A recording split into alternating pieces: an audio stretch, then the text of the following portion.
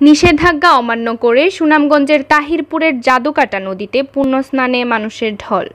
করোনার প্রকোপ বৃদ্ধি পাওয়ায় সকল ধরনের গণজমায়েতে নিষেধাজ্ঞা থাকলেও তা উপেক্ষা করে সুনামগঞ্জের তাহিরপুর উপজেলার জাদুকাটা নদীতে পুণ্য স্নানে হাজারো ভক্তবৃন্দের উপস্থিতিতে লুকে লুকারণ্য।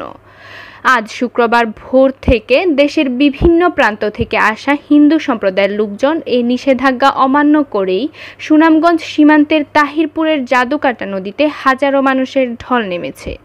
তবে সকাল থেকে বিকাল পর্যন্ত চলবে এই গঙ্গা পুণ্য স্নান। হিন্দু ধর্মাবলম্বীরা জানান, চৈত্র মাসের মধু কৃষ্ণা ত্রয়োদশী তিথিতে জাদুকাটা নদীতে স্নান করলে সব পাপ মোচন হয়ে যায় বলে প্রচলিত রয়েছে।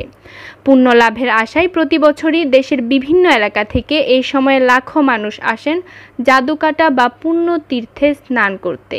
কিন্তু করোনার কারণে গত বছরও অনুষ্ঠান বন্ধ ছিল। তাই এবছর লকডাউনের মধ্যে ঝুঁকি নিয়েই তারা গঙ্গা স্নানের জন্য একত্রিত হয়েছেন।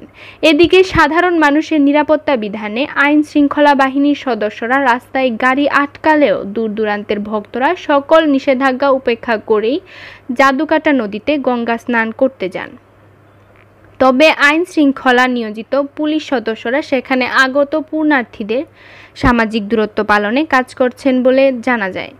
এ ব্যাপারে সুনামগঞ্জের জেলা প্রশাসক মোহাম্মদ জাহাঙ্গীর হোসেন বলেন, সব রকমের চেষ্টা করেছি জাদুকাটায় পূর্ণ তীর্থে যাতে কেউ গণজমায়েত না করে। কিন্তু সরকারি বিধিনিষেধ উপেক্ষা করেও অনেকেই সেখানে গঙ্গা স্নান করতে এসেছেন।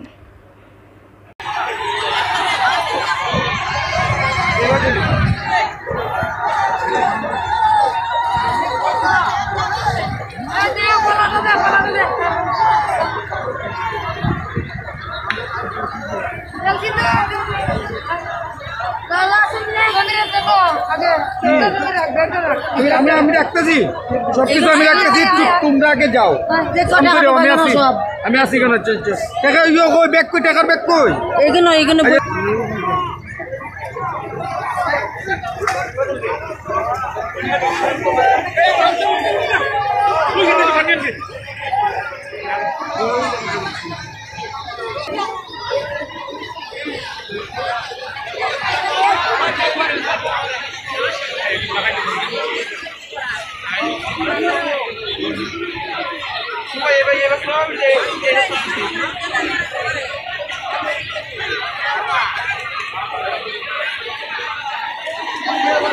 Vem, pai!